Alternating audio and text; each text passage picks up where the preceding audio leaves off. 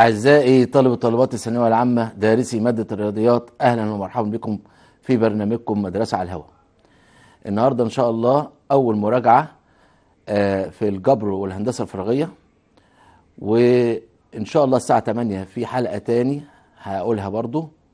وإن شاء الله بكرة غدا آه، بإذن الله آه، مع أستاذنا الفاضل الأستاذ شعبان عبد الرازق عمر.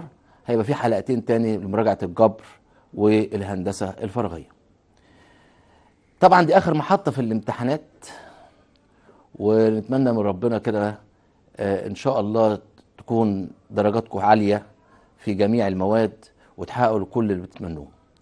عايزك عزيزي الطالب تركز معايا قوي وتخلي بالك من الملاحظات اللي أنا هقولها والجبر والهندسة الفراغية يعني من الفروع السهلة لكن عايزة دقة. نشوف كده مع بعض. أول مسألة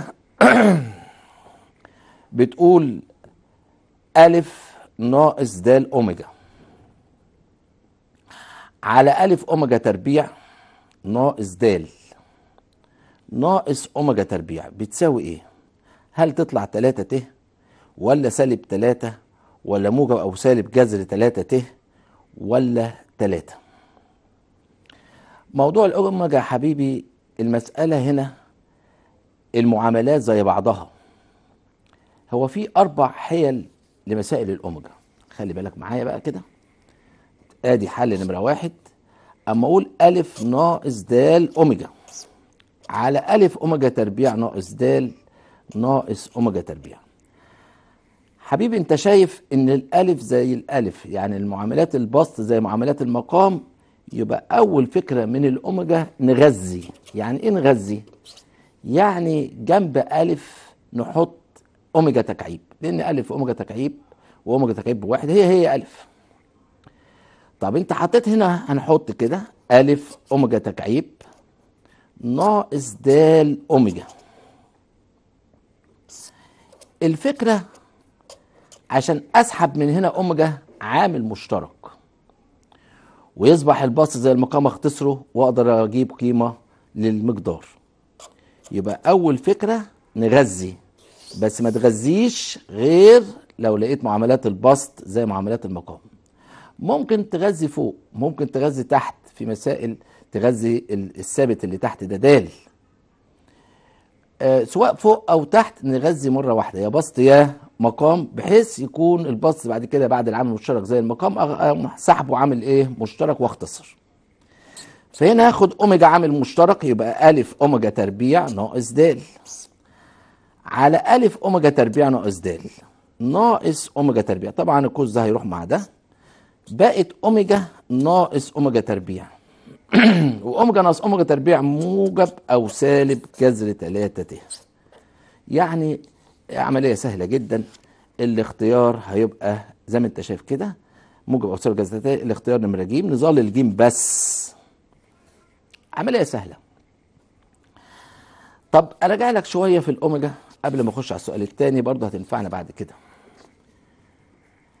طبعا أنت عارف يا حبيبي إن واحد زائد أوميجا زائد أوميجا تربيع بصفر. ممكن من هنا نقول واحد زائد أوميجا سالب أوميجا تربيع. واحد زائد أوميجا تربيع يبقى سالب أوميجا. أوميجا زائد أوميجا تربيع بسالب واحد. الحاجات دي لازم نبقى عارفينها.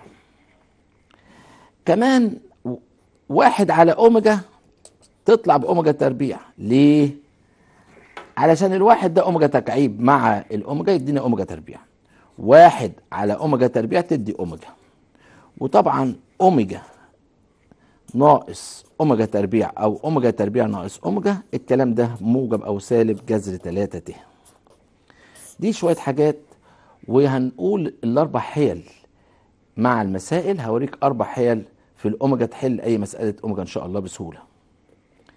طيب يبقى الفكرة غذينا باوميجا تكعيب سواء للبسط أو للمقام طالما لقيت المعاملات بتاعت البسط زي معاملات المقام. طيب دي أول فكرة.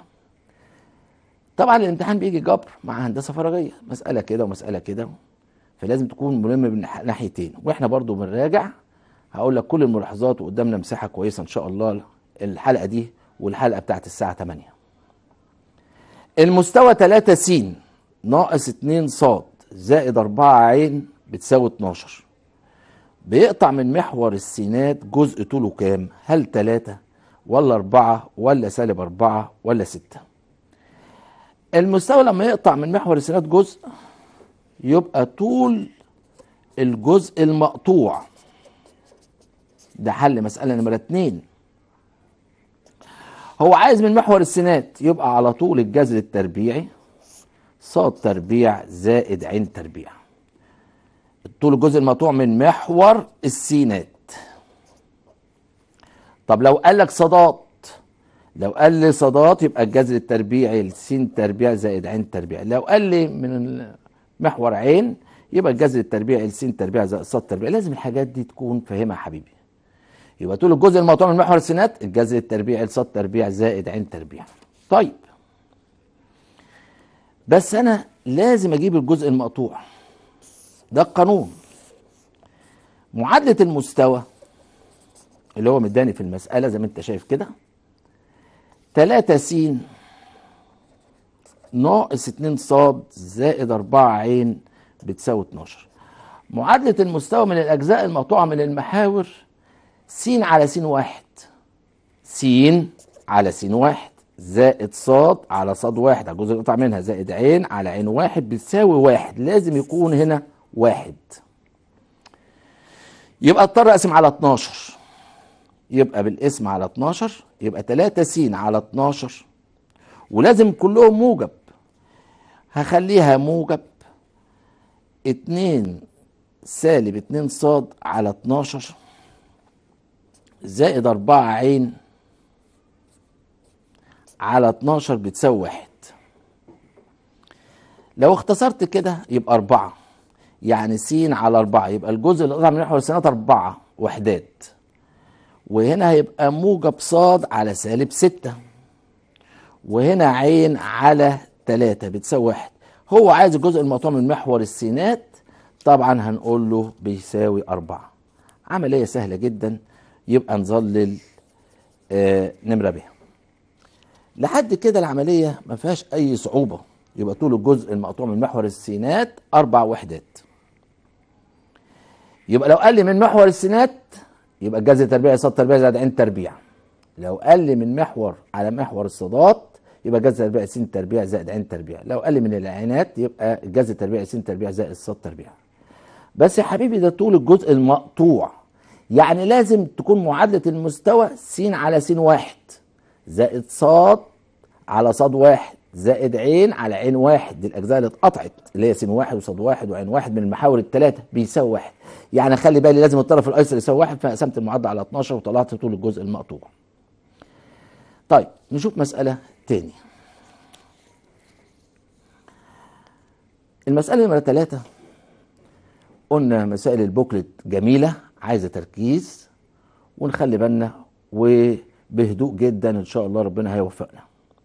بتقول إذا كانت المصفوفة ألف عناصرها واحد وسالب اتنين وتلاتة الصف الأولاني وكاف وصفر وواحد وتلاتة واتنين وسالب واحد وكانت رتبة المصفوفة ألف أو مرتبة المصفوفة ألف بيساوي اتنين عايز قيمة كاف هو يا حبيبي كده بيحكي على موضوع الرتبة أو مرتبة المصفوفة طبعا هنا إحنا درسنا الموضوع ده وقلنا لو كان دي المصفوفة اهي دي نمرة تلاتة واحد وكاف وتلاتة وسالب اتنين وصفر واتنين وتلاتة وواحد وسالب واحد. عشان أعرف المرتبة بتاعت المصفوفة أو رتبة المصفوفة الأول أجيب محدد أعملها محدد المصفوفة دي. يبقى واحد كاف تلاتة سالب اتنين صفر اتنين تلاتة واحد سالب واحد. طيب لو كان قيمة المحدد ده ما بيساويش صفر يبقى رتبة المصفوفة تلاتة. تاني يبقى لو المحدد ما يساويش الصفر يبقى رتبة ألف تلاتة.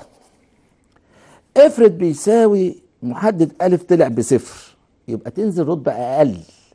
أقل من رتبة تلاتة يبقى اتنين. طلع جميع المحددات الثنائية. يعني خدت كل أربعة كده وجربت.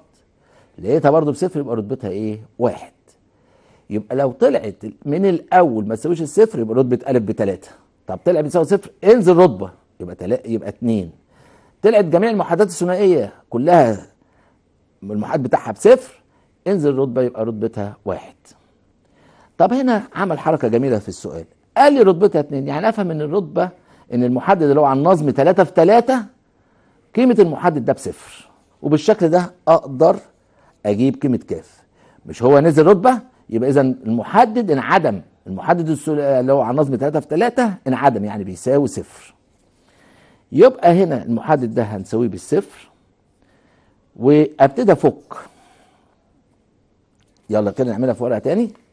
يعني هقول المحدد واحد كاف تلاتة سالب اتنين صفر اتنين تلاتة واحد سالب واحد. أساويه بالصفر لأن رتبة تلاتة منعدمة وهو لي بالسبب إن رتبة الم- ألف المصروف ألف باتنين. يبقى المحدد الثلاثي ده على النظم تلاتة في تلاتة بصفر. أفهم يبقى الرتبة التالتة انعدمت.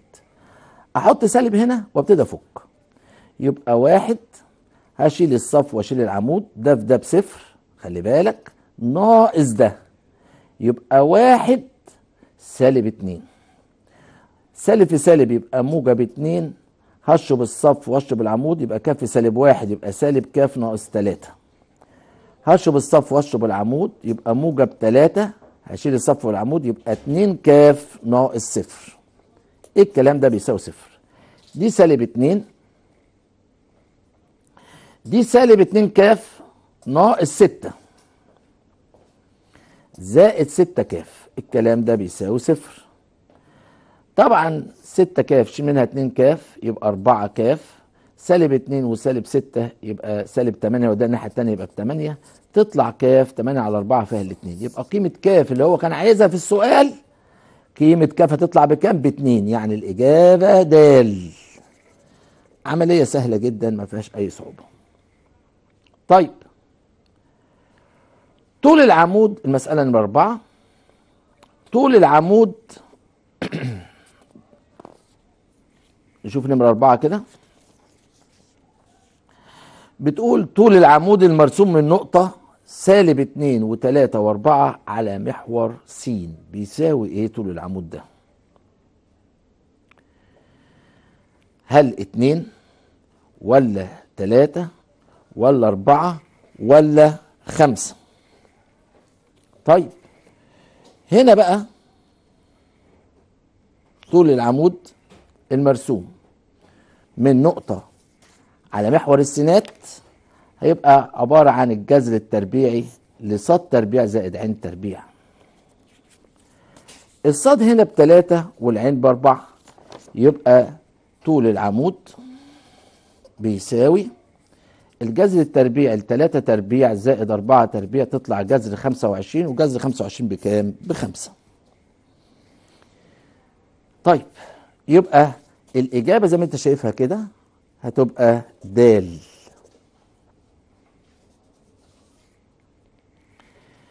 يبقى إحنا هنا خدنا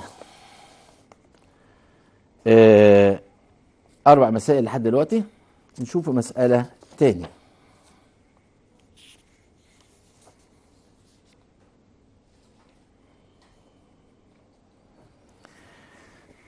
يبقى طول العمود من النقطة دي على محور السينات الجذر التربيعي لصاد تربيع زائد عين تربيع وقلناها من شوية.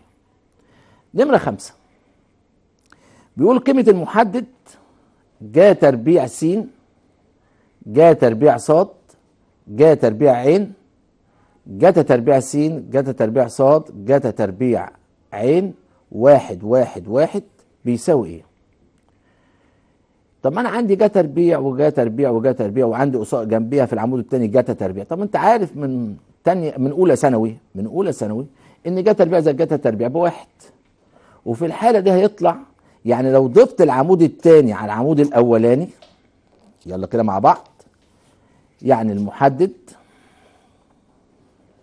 جا تربيع س جا تربيع صاد جا تربيع عين جتا تربيع س جتا تربيع صاد جتا تربيع عين واحد واحد واحد. لو ضفنا العمود التاني على الأولاني يبقى جا تربيع س زائد جتا تربيع س وجا تربيع صاد. زائد جتا تربيع صاد وجا تربيع عين. زائد جتا تربيع عين والعمود التاني ده هينزل زي ما هو. والتالت زي ما هو. يبقى أنا ضفت العمود التاني على العمود الأولاني. طبعا كل قيمة من دول بواحد يبقى واحد واحد واحد. وهنا جتا تربيع س دي متطابقة. جتا تربيع س زائد جتا تربيع س بواحد. وهنا جتا تربيع صاد وهنا جتا تربيع عين. واحد واحد واحد. الله لقينا عمود الأول زي العمود الثالث يبقى قيمة المحدد بكام؟ لما يتساوى عمودين أو صفين يبقى قيمة المحدد بصفر. كلنا عارفين المعلومة دي. يبقى هنا الاختيار نمرة ب. طيب. لفت نظري برضو هناخد زي مسألة خدناها برضو من شوية بس هنا فيها حاجة بتلخبط الطالب إزاي يجيب الجزء المقطوع. طيب نشوف كده مع بعض. بيقول المستوى 3 س ناقص 4 ص زائد عين زائد 10 بيساوي صفر. يقطع من محور الصادات جزء طوله كام؟ أنا هنا كنت شوية من شوية عملتها مع محور السينات وقسمت على 12 المسألة دي فيها حاجة معينة كان العوامل بتاعت س وصاد وعين كانت واحد هنا في عوامل أرقام نشوف كده مع بعض. مش واحد يعني. نشوف إزاي نجيب الجزء المقطوع. يعني المستوى عبارة عن 3 س ناقص 4 ص زائد عين زائد 10 بيساوي صفر. هودي دي الناحية الثانية يبقى 3 س ناقص 4 ص زائد عين يطلع بسالب 10 لحد كده جميل. مفروض الجزء المقطوع من السنا... من المحاور الأجزاء المقطوعة من المحاور الثلاثه س على س واحد زائد ص على ص واحد زائد عين على عين واحد بتساوي واحد. يبقى لازم أقسم على إيه؟ على سالب 10 يعني 3 س على سالب 10 ناقص 4 ص على سالب 10 خلي بالك معايا. زائد عين على سالب 10 الكلام ده بيساوي واحد. انت بتقول الجزء المقطوع س على س واحد. المحور بالسينات زائد صاد على صاد واحد. زائد عين على عين واحد. بتساوي واحد. يعني معامل س وصاد واحد وعين واحد. فأنا لازم أتخلص من التلاتة دي. نعمل إيه؟ يبقى س شوف بقى إزاي؟ سالب عشرة هخليها على تلاتة. بحيث لو اتقلبت ترجع تاني. خلي بالك. يبقى التلاتة دي تنزل تحت معاها بحيث لو اتقلبت تطلع تلاتة تاني. سالب في سالب بموجب ولازم بينهم موجب. صاد يلا ادي سالب عشرة. سالب في سالب بموجب يبقى عشرة بس. عشرة على أربعة. بحيث لو قلبنا تطلع أربعة تاني. وبعدين زائد عين على سالب عشرة زي ما هي عشان هنا معاملها واحد. الكلام ده بيساوي واحد. يبقى طول الجزء المقطوع من محور الصادات هيبقى عشرة على أربعة طول الجزء المقطوع من محور الصادات بيساوي عشرة على أربعة يعني خمسة على اتنين. يبقى الاختيار بتاعي خمسة على اتنين. يبقى أنا جبتها لك تاني بس في معامل لسين مش واحد. معامله مثلا ثلاثة أنا بقسم عادي. شوف هنا عملت إيه؟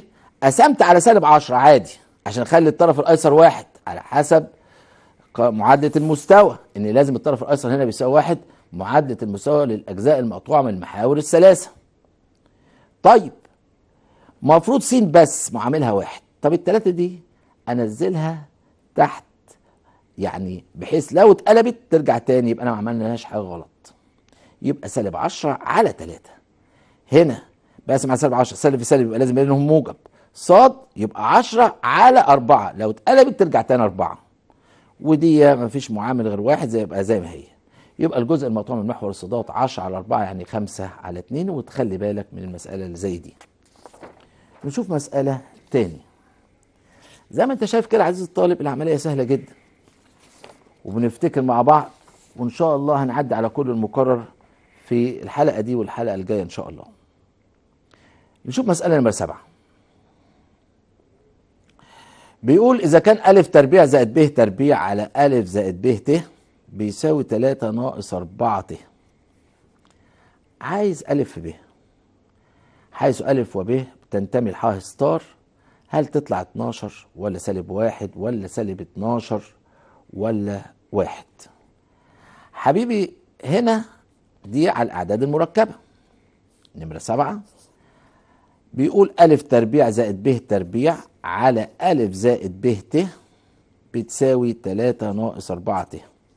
هو عايز ألف في ب ماشي. لما يكون في عدد مركب في المقام أضرب في المرافق. كلنا عارفين الكلام ده. يعني هقول ألف تربيع زائد ب تربيع على ألف زائد ب ت مرافقنا ألف. خلي بالك ناقص ب ت على ألف ناقص ب ت. الكلام ده بيساوي 3 ناقص 4 ت. كويس قوي بنغير الإشارة في المرافق وبيتكتب بسط ومقام. طيب أما أجي أضرب دول دول كميتين مترافقتين يبقى مربع معامل الحقيقي يبقى ألف تربيع مربع معامل التخيل الموجب يديك ب تربيع. مربع معامل الحقيقي زائد مربع معامل التخيل الموجب على طول. واللي فوق يبقى كده خلاص الضرب بتاعهم. اللي فوق يبقى ألف تربيع زائد ب تربيع. في ألف ناقص ب ت. زي ما أنت شايف كده. هطير ألف تربيع زائد ب تربيع مع ألف تربيع زائد ب تربيع. يعني معنى كده ألف ناقص ب ت يناظرها 3 ناقص 4 ت. يعني الألف بتلاتة.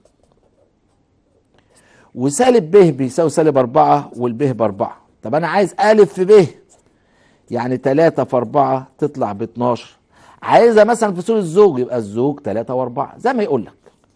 يبقى الإجابة طالعة هنا إجابة نمرة ألف. عملية سهلة ضربنا في المرافق. عمليات سهلة جدا وإن شاء الله الامتحان هيبقى سهل. طيب كان في مسألة تاني اللي هي نمرة 8 تحتها.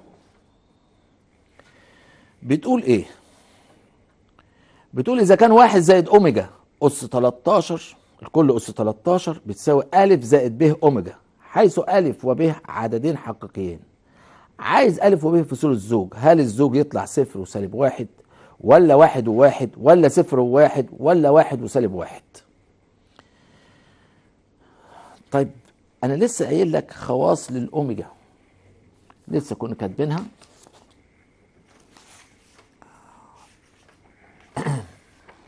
أهي. نخلي القوانين بقى جنبينا. كنت أنا قايل لك يا حبيبي إن واحد زائد أوميجا بسالب أوميجا تربيع. وواحد زائد أوميجا تربيع بسالب أوميجا وأوميجا زائد أوميجا تربيع بسالب واحد. دي من العلاقة إن واحد زائد أوميجا زائد أوميجا تربيع بتساوي صفر. طيب. أو ممكن نقول مثلا أي معامل مش شرط الواحد يعني أقول خمسة زائد خمسة أوميجا زائد خمسة أوميجا تربيع برضه بصفر. المسألة اللي عندي قايل لي الراجل في نمرة 8 واحد زائد أوميجا الكل أس 13 طب ما دي ليها قانون. يلا نكتبها الأول. واحد زائد أوميجا أس 13 دي مسألة نمرة 8 هتساوي ألف زائد ب أوميجا. هو عايز الزوج المرتب ألف وب. واحد زائد أوميجا يا حبيبي بسالب أوميجا تربيع. الكل أس 13 هتساوي ألف زائد ب أوميجا. خلي بالك بقى معايا من اللي أنا هعمله. السالب ده اس فردي يعني يطلع بسالب بالراحة خالص. الحاجات الصغيرة دي هي اللي بتبوظ المسألة. أوميجا تر... تربيع الكل اس 13 يعني تديك أوميجا اس 26 يبقى الاس بيجي على الإشارة طبعا وعلى الاوميجا تربيع. الكلام ده بيساوي ألف زائد ب أوميجا. أنت عارف يا حبيبي إن أوميجا تكعيب بكام؟ بواحد. أي أوميجا مرفوعه الأس أكتر من 3 نقسم على 3 والباقي نعمله أس الأوميجا. أقول تاني أي أوميجا ليها أس أكتر من 3 لأن أوميجا تكعيب بواحد طب أكتر من 3 أقسم على 3 والباقي أعمله أس الأوميجا. نفس الكلام في الت بس أقسم على 4 والباقي أعمله أس الت يعني لما أقول 26 على الثلاثة هيطلع 8 ب 24 يتبقى 2 يبقى ده نعمله أس الأوميجا. يبقى على طول دي سالب أوميجا تربيع. يبقى أوميجا اس 26 السالب نزل زي ما هو تطلع بأوميجا تربيع. لأن 26 على 3 فيها 8 ب 24 بقى 2 ده نعمله اس الأوميجا. اس الأوميجا. الكلام ده بيساوي أ زائد ب أوميجا. طب يا حبيبي ما أنت عارف العلاقة واحد زائد أوميجا زائد أوميجا تربيع اللي إحنا بنولد منها مش لازم تحفظ النتائج. يعني أنا عايز سالب أوميجا تربيع. لو طلعتها دي بالسالب يبقى بالسالب يعني واحد زائد أوميجا تطلع بسالب أوميجا تربيع. يعني ممكن أشيل سالب أوميجا تربيع دي وأكتب واحد زائد أوميجا.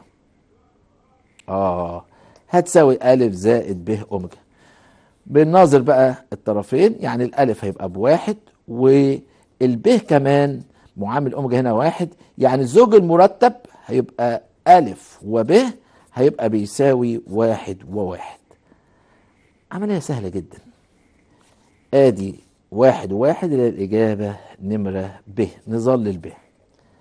عملية زي ما أنت شايف كده عملية سهلة. قوانينه بتطبقها مفيهاش مشاكل. أخلي بالي من الإشارات. أفهم الفكرة كويس. أنت بتحل الرياضة يعني لازم تكون يقظ. واحد زائد أوميجا استنتجناها بسالب أوميجا تربيع.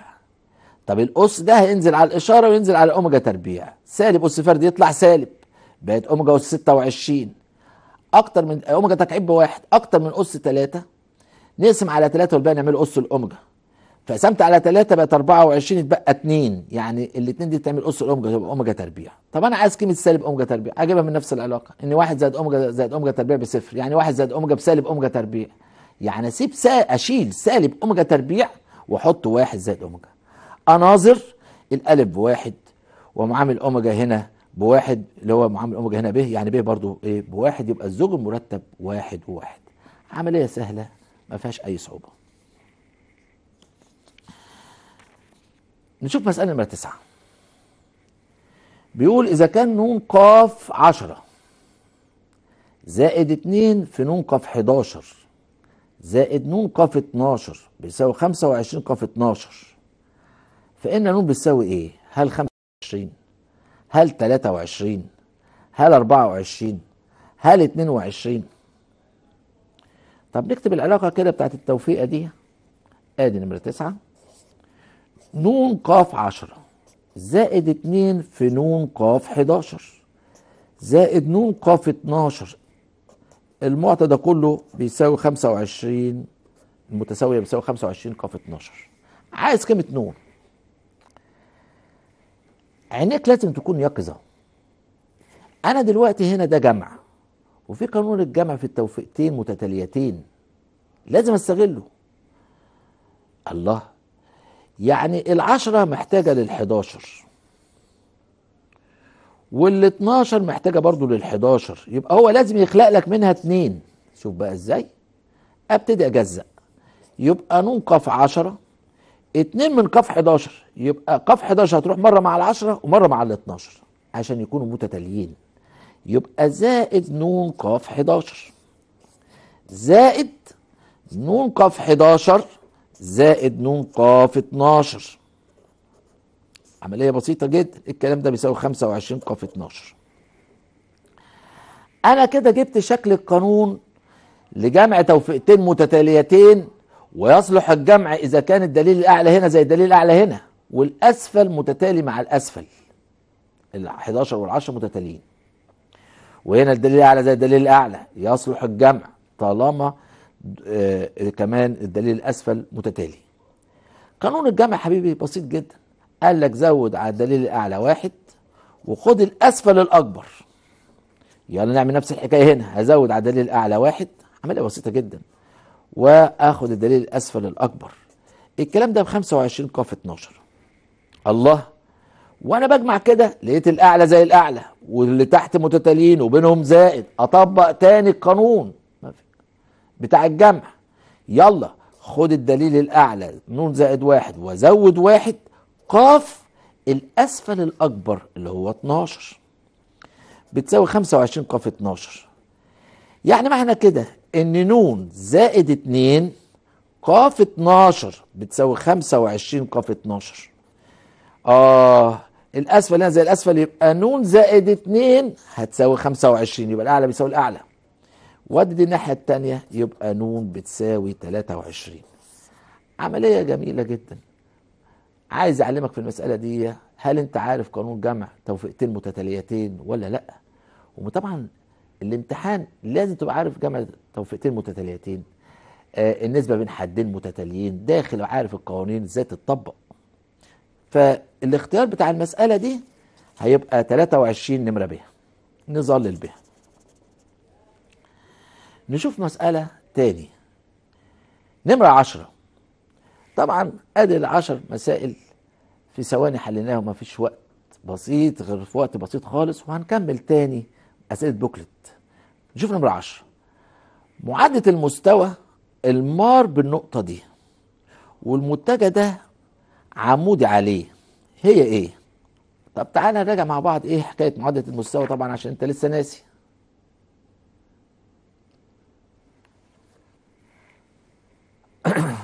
طيب آه، نطلع فاصل ونستكمل بعد الحلقة.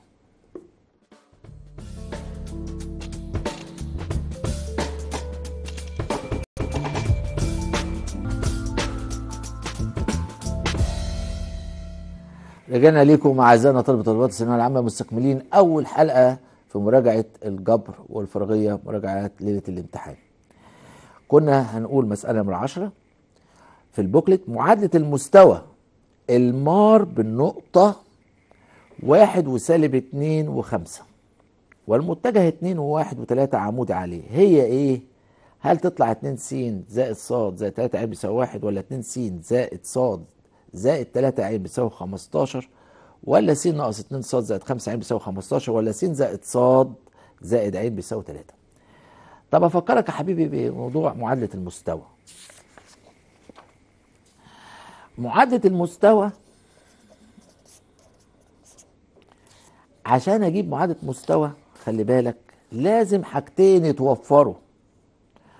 نقطة معلومة ومتجه اتجاه عمودي على المستوى. هقول تاني. يعني إحنا عايزين معادلة مستوى يبقى لازم في نقطة معلومة في المستوى ومتجه اتجاه عمودي على المستوى. ونطبق العلاقة. آدي نون ضرب قياسي في ر بتساوي نون ضرب قياسي في ألف. نون دي مين يا ابني؟ دي متجه العمودي متجه اتجاه العمودي على المستوى. وره أي نقطة في المستوى.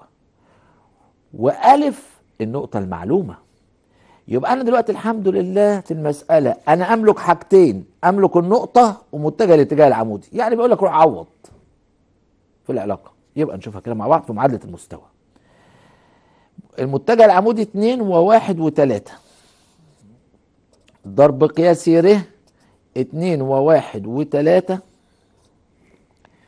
ضرب قياسي في النقطة المعلومة اللي هي المار بالنقطة واحد وسالب اتنين وخمسة. واحد وسالب اتنين وخمسة. دي النقطة المعلومة في المستوى. يعني دي تبقى هنا طبعا الريه دي عبارة عن س وصاد وعين يبقى اتنين نضرب ضرب قياسي الأول في الأول يبقى اتنين س زائد صاد زائد تلاتة عين. يعني دي أكنها س وصاد وعين. الأول في الأول الضرب القياسي زائد الثاني في الثاني زائد الثالث في الثالث يلا اضرب دول 2 في 1 ب 2 بالراحة 1 في سالب 2 سالب 2 3 في 5 ب 15 طير دي مع دي. بقت معادلة المستوى 2 س زائد ص زائد 3 عين بتساوي 15 يبقى الإجابة إيه؟ الإجابة 2 س زائد ص زائد 3 عين بتساوي 15 الإجابة ب. ر دي أي نقطة في المستوى؟ يبقى س وصاد وعين. وبنضرب ضرب كاس هنا وضرب كاس هنا وطلعنا معادلة المستوى. عملية سهلة وأسئلة البوكلت بتقعد تفكرك بكل المقرر. طيب أنا هعمل دلوقتي حلينا 10 أسئلة وفي مسائل كتير تاني بوكلت هنحلها. نخش الأول على مسائل مقالية وبعدين نرجع تاني. عشان الوقت. بقية الأسئلة بتاعت البكره هنحلها بس ناخد شوية أسئلة مقالية. نشوف المسألة نمرة 23 دي بتحكي عن إيه. بتقول في مفكوك س زائد واحد على س تربيع الكل أس تسعة. في المفكوك ده أوجد رتبة وقيمة الحد الخالي من س وقيمة س التي تجعل مجموع الحدين الأوسطين في المفكوك بيساوي صفر. طبعا المسألة دي على نظرية ذات الحدين. أفكرك بنظرية ذات الحدين كده بسرعة. في مفكوك س زائد ص مثلا أس مثلا سبعة. افرض أنا عايز أجيب الحد الخامس. يلا يبقى أس المفكوك أنقص من ده واحد أربعة. الحد التاني بإشارته يبقى صاد أس أربعة. الحد الأولاني أس الفرق يبقى سبعة أشيل منها أربعة تلاتة. لأن النظر الحد العام مثلا س زائد ص كل أس ن ح ر زائد واحد ده القانون بتاع الحد العام أس المفكوك نقص واحد صاد أس ر س أس ن ناقص ر. بس خلي بالك الحد التاني يهمني جدا بإشارته والحد الأول بإشارته ده الحد العام. هيجي دايما في الامتحانات في المسائل يقول لك هات حد خالي من س اثبت إن مفيش حد خالي من س هات الحد اللي يشتمل على س أس 7 مثلا أو س أس 5 أو س أس 3 اثبت إن مفيش حد يشتمل على س أس 3 أو 4 ولا أي حاجة. آه هات معامل س أس 5 اثبت إن مفيش معامل س أس 5 كل القصة دي هفرض الكلام ده موجود في الحد العام. واشوف آه عايز يثبت إن في حد خالي هطلع له حد خالي. عايز يثبت إن مفيش حد خالي يبقى برضه هطلع له مفيش حد خالي. يبقى نشوف المفكوك اللي هو بتاع مسألتنا. يبقى كل الأفكار سهلة. أنا عايز حد خالي عايز مفيش حد خالي عايز حد يشتمل على س اس 7 لا مفيش حد يشتمل على س اس 7 عايز معامل س اس 3 لا مفيش معامل س اس 3 كل ده نفرض إن هو موجود في ح ر زائد واحد اللي هو الحد العام. طيب نشوف كده بقى حل نمرة 23 آدي المفكوك تل... نمرة 23 المفكوك اسمه س زائد واحد على س تربيع الكل أس تسعة. هنفرض أن الحد الخالي من س موجود في ح ر زائد واحد اللي هو الحد العام. ما هو أي حد أسأل عليه الحد العام هو اللي يجي يقول لي فيه ولا مفيش يبقى ح ر زائد واحد بيتساوي. يلا نفك زي ما علمتك. تسعة ق ر نقص واحد. الحد التاني بإشارته. أس ر الأولاني. أس الفرق. وفي ناس بيبدلوا دول مفيش حاجة مفيش مشاكل. عشان الضرب إبدالي. أنت فرضت. ده أول واحد حاجة. تاني حاجة بنفصل المعاملات عن المتغيرات. يعني يبقى تسعة قفره. هنا واحد. انت عارف لو كان سالب يهمني جدا لأن بناخد الحد التاني بإشارته. يبقى سالب واحد اسريه لكن واحد اسريه مش مشكلة. س أس سالب 2 ر. في س أس 9 ناقص ر. نجمع السينات بقى يبقى 9 قفره.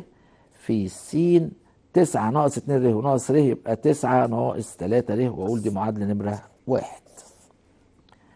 هو عايز حد خالي من س يبقى أس س ده هساوي بالصفر عشان خالي من س يعني تسعة ناقص تلاتة ر هتساوي صفر. اللي هي جاية أصلا بساوي جزء السينات اللي هي س أس تسعة ناقص تلاتة ر بس أس صفر. فالأساس زي الأساس يبقى الأس بيساوي الأس جاية من هنا.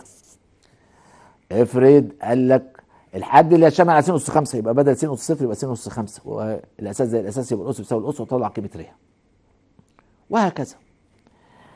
هودي دي الناحية التانية يعني تسعة بتساوي تلاتة ر يعني ر تطلع بتلاتة؟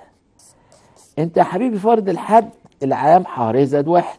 إذا ر فرضين إحنا ح ر زائد واحد موجود في الحد العام؟ يبقى نقدر نقول ر زائد واحد يعني ح أربعة. إذا ح أربعة هو الحد الخالي من س اللي هو ر زائد أربعة. ر زائد واحد اللي هو الحد العام يعني ر بتلاتة زائد واحد يبقى ح إيه؟ أربعة. ده الحد الخالي من س السؤال بيقول لي هات رتبته وقيمته. طب نجيب بقى ح أربعة قيمته. يلا. آدي المفكوك. نكتبه تاني قصادنا. س زائد واحد على س تربيع أس تسعة. يلا.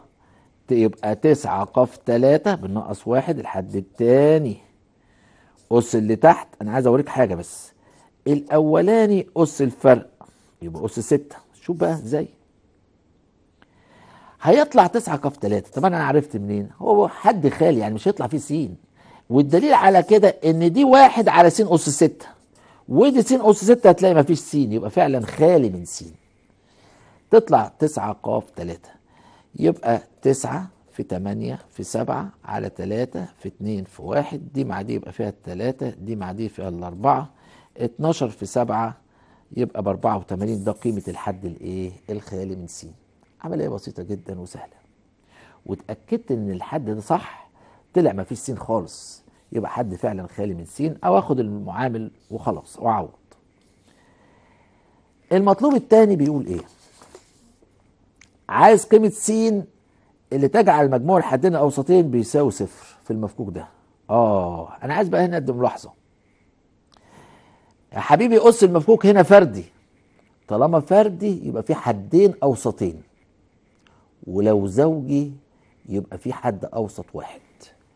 يبقى نقول القاعدة دي مهمة. قص المفكوك. خلي بالك زوجي إذا هناك حد أوسط واحد. أس المفكوك فردي إذا هناك حدين أوسطين. طبعا هنا أس المفكوك فردي. آه عشان كده قال لي في حدين أوسطين. طب أنا عايز أجيبهم. ده فردي تزود له واحد. واقسم على اتنين وخد التالي ليه على طول. شوف بقى. يعني يبقى رتبتا الحدين الأوسطين هنجيب رتبتهم. قص المفكوك زود واحد واقسم على اتنين. عشان ينفع تقبل القسمة يبقى عدد صحيح. يطلع خمسة. والتالي ليه والتالي له. يعني يبقى خم... تسعة واحد عشرة على اتنين خمسة خمسة وستة. يبقى رد... الحدين الأوسطين الحدين الأوسطين هما الحدين الأوسطين هما ح خمسة وح ستة. طب افرض كان أس المفكوك زوجي يبقى تزود اتنين وتقسم على اتنين. يعني مثلا أس المفكوك ده مثلا 12 يبقى 12 زائد اتنين على اتنين يعني 14 على اتنين يبقى فيها السبعة يبقى الحد السبعة هو اللي في النص. يبقى لو فرد ازود واحد واقسم على اتنين واخد التالي التالي للناتج. لو زوجي أزود اتنين واقسم على اتنين يبقى ده هناك حد أوسط واحد. طيب هو بيقول لي مجموع الحدين الأوسطين بيساوي صفر يعني ح خمسة زائد ح ستة أنا جبتهم له بيساوي صفر. طيب ودي ده الناحية التانية. يعني ح ستة بتساوي سالب ح خمسة. أنا فهمت. أنت عايز تعمل إيه؟ هطبق قانون نسبة. يعني ح ستة على ح خمسة يمين شمال شمال يمين يطلع سالب واحد. نكتب تاني المفكوك. س زائد واحد على س تربيع الكل أس تسعة. ده المفكوك. جبنا بقى الحدين الأوسطين كنسبة عشان نطبق قانون النسبة أدربك عليه. كان ممكن أفك ده لوحده وده لوحده وأختصر مفيش مشاكل. وممكن أعمل قانون النسبة أسهل. ويبقى الكبير فوق. قانون النسبة في التوافيق في ذات الحدين تسعة أس المفكوك. ناقص الأسفل الصغير ناقص خمسة. زود واحد وزود واحد على خمسة. في الحد التاني اللي هو واحد على س تربيع على الحد الأولاني اللي هو س الكلام ده بيساوي سالب واحد. تسعة واحد عشرة. تاني يبقى أس المفكوك ناقص الأسفل الصغير. زائد واحد من عندك على الأسفل. الصغير في الحد التاني على الحد الأولاني. طيب يعني تسعة واحد عشرة شيل منها خمسة يبقى خمسة خمسة مع الخمسة راحت. طب دي تنزل تحت يبقى واحد على س تكعيب هتساوي سالب واحد. الله يعني معنى كده سالب س تكعيب هتساوي واحد. يعني س تكعيب بسالب واحد. شوف بالراحة خالص. يعني س عبارة عن الجذر التكعيبي لسالب واحد تطلع س بتساوي واحد. سالب واحد. الجذر التكعيبي لسالب واحد سالب واحد. دي قيمة س اللي تجعل الحدين الأوسطين بيساوي صفر. ببساطة وبسهولة أوي. حبيبي أنا عايز نشوف مسألة تاني. في الموضوع ده. برضو مقالية. فهمنا موضوع آه عملية نظرية ذات الحدين وإزاي نجيب حد قالي أو نسبة إن مفيش أو حد يجتمع على س اس خمسة أو مفيش وكل ده نفرضه في ح ر زائد واحد. ونفصل المعاملات عن المتغيرات ونساوي بسين بقوة س لو خالي يبقى قوتها س أس صفر. لو غير خالي مثلا س اس خمسة ولا حاجة نساوي الاس القوة بتاعتها خمسة بأس س ونطلع على رتبة الحد ونشتغل. كمان عرفتك ان لو كان اس المفكوك فردي يبقى هناك حدين أوسطين نزود واحد ونقسم على اتنين وناخد التاني. لو اس المفكوك زوجي يبقى هناك حد أوسط واحد تزود اتنين وتقسم على اتنين بطريقة سهلة. كمان علمتك إزاي تطبق قانون النسبة بين حدين متتاليين. المسألة الجاية مسألة هندسة فراغيه شوف كده مع بعض. مسألة نمرة 24 بتقول إيه من الاسئله المقالية؟ إذا كان طول العمود المرسوم من النقطة صفر وسالب واحد واتنين على المستوى جذر اتنين س زائد ص ناقص ع بيساوي سالب كاف. هو اتنين هات قيم كاف. المسألة دي على طول عمود مرسوم من نقطة على معادلة مستوى. إيه قانون طول العمود ده بقى؟ النقطة اللي هينزل منها العمود صفر وسالب واحد واتنين. ومعادلة المستوى جذر اتنين س زائد ص ناقص ع بتساوي سالب كاف. قال لي طول العمود ده طول العمود اتنين. عايز قيمة كاف؟ طالب عشان نبقى فاهمين المسألة قيمة كاف. هطبق قانون طول العمود النازل. كلنا حافظينه. بس أنا أحب أقول على حاجة عشان بلاقي الطلبة بتتلخبط في تطبيقه. النقطة اللي هينزل منها العمود سميها س واحد صاد واحد عين واحد.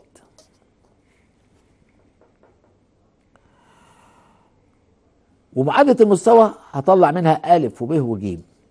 ألف معامل س ب معامل ص يبقى دي ب ودي ج. وادخل دي جوه اعملها لازم معادلة صفرية. يعني الألف بكام دلوقتي؟ بجذر اتنين. الب بواحد الجيم بسالب واحد. الدال هتدخل كاف يبقى الدال بكاف. لو انت عملت زي ما أنا بعمل كده هتبقى العملية سهلة جدا. اضربك تكتب القانون وتعوض. تاني النقطة اللي هينزل منها العمود هسميها س واحد صاد واحد عين واحد. هينزل على المستوى أطلع منه ألف وب وج ودال. يبقى لازم المعادلة تكون صفرية. خلي بالك من الحتة دي. ألف معامل س ب معامل صاد آه ج معامل عين وندخل كاف يبقى دي بتخش بالموجب يبقى دي قيمة د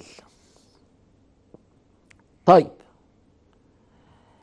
قانون طول العمود إيه هو؟ مقياس ألف س واحد. زائد ب ص واحد زائد ج عين واحد زائد د على الجذر التربيعي لألف تربيع زائد ب تربيع زائد ج تربيع. كلنا حافظينه. يبقى قانون طول العمود تاني ها؟ ألف س واحد زائد ب ص واحد ألف س واحد زائد ب ص واحد زائد ج عين واحد زائد د على الجذر التربيعي الألف تربيع زائد ب تربيع زائد ج تربيع. كلام سهل قوي انت مسمي خلاص. يا دوبك تاخد بس الحاجة وتعوض. يبقى ألف هتتضرب في س واحد. جذر اتنين في صفر يبقى صفر. الب هتتضرب في صاد واحد. واحد في سالب واحد يبقى سالب واحد. عملية سهلة جدا. يلا الجيم هتتضرب في عين واحد. سالب واحد في اتنين يبقى سالب اتنين. الدال بكاف. على الجذر التربيعي. الألف جذر اتنين تربيع يعني باتنين. الب متربعة يعني بواحد الجيم متربعة يبقى بواحد. بس الراجل قال لك طول العمود بكام؟ باتنين خلي بالك. عشان هو عايز يجيب قيمة كاف يبقى اتنين بتساوي. سالب واحد وسالب تلاتة سالب تلاتة زائد كاف مقياس اتنين وواحد تلاتة وواحد يبقى أربعة جذر أربعة اتنين. اضرب دي هنا شوطها دي هنا يبقى أربعة بتساوي مقياس سالب تلاتة زائد كاف. اتعلمت من أولى ثانوي وتانية ثانوي إن لما أجي أفك المقياس يا موجب يا سالب.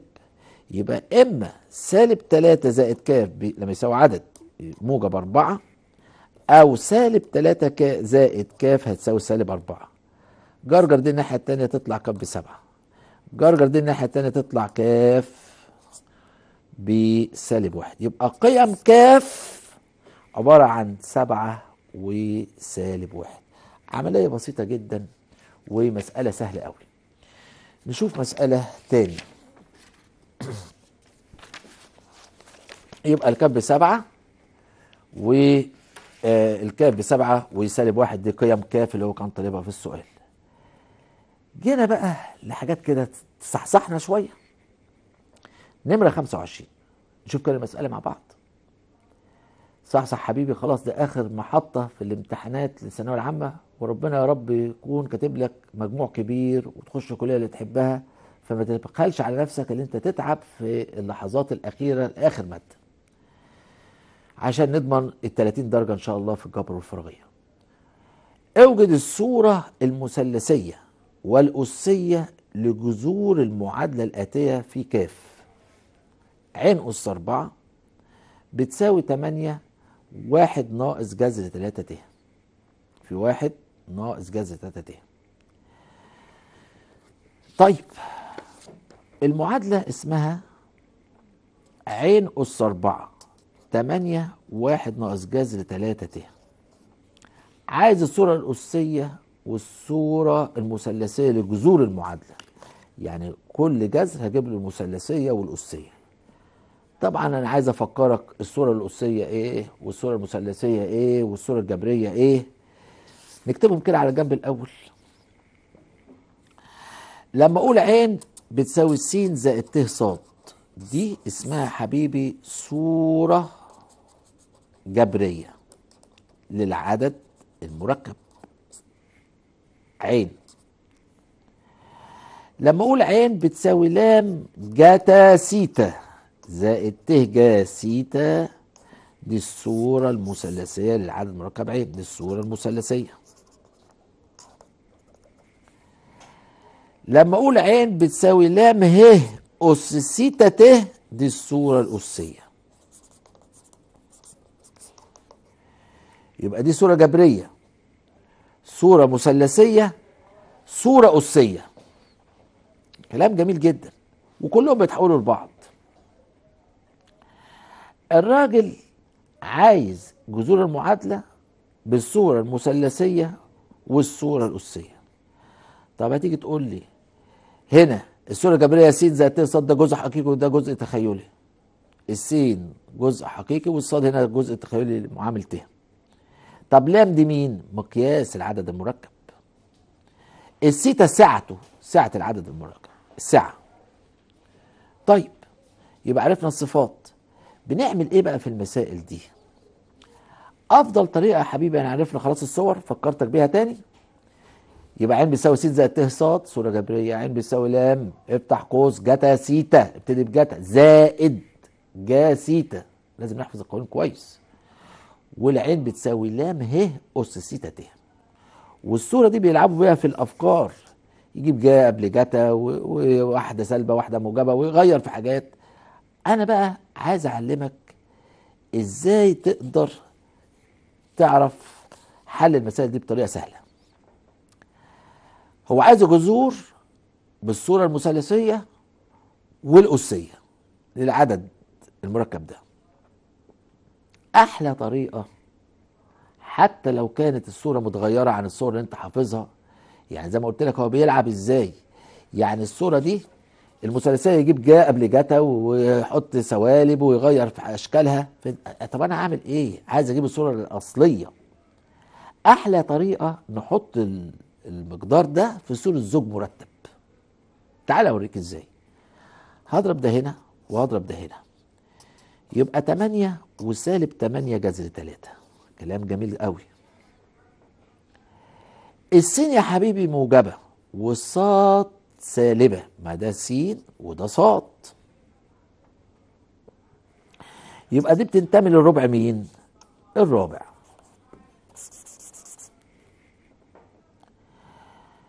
شوف بقى هنت...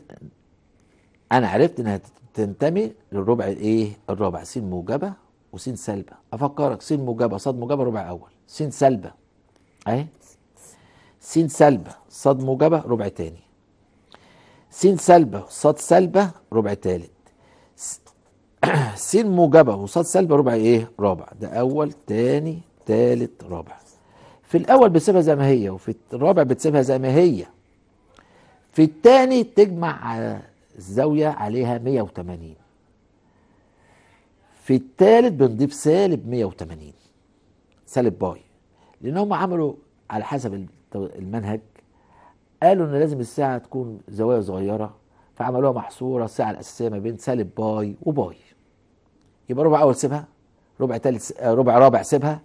في التاني تجمع عليها 180 في التالت آه، تضيف عليها سالب 180 طب نشوف كده مع بعض. طبعا الأول هجيب المقياس. إيه حكاية المقياس دي؟ إيه حكاية لام؟ الجذر التربيعي لمربع س زائد مربع ص. كلنا عارفين 8 تربيع زائد سالب 8 جذر 3 تربيع. دي 64 64 في- في 3 يبقى تطلع 192 يعني دي 6 دي 5 دي 2 جذر 256 16 يبقى دي لام. ده المقياس. مقياس العدد المركب. أجيب بقى ظا سيتا خلي بالك. هقسم الصاد على السين يبقى سالب 8 جذر 3 على 8 شيل كده تطلع سالب جذر 3 يعني تعتبر ظا السيتا دي بسالب 60 يعني السعة سالب باي على 3 إيه ده؟ ما هو سالب 60 تعملها بصورة باي عشان لسه هنعمل صورة أسية لازم تبقى بتقدير دائري. أضرب سالب 60 في باي على 180 قلبتها كده الدائري تقسم ده على ده يديك سالب باي على 3 يبقى السعة بتاعتي سالب باي على 3 خلاص.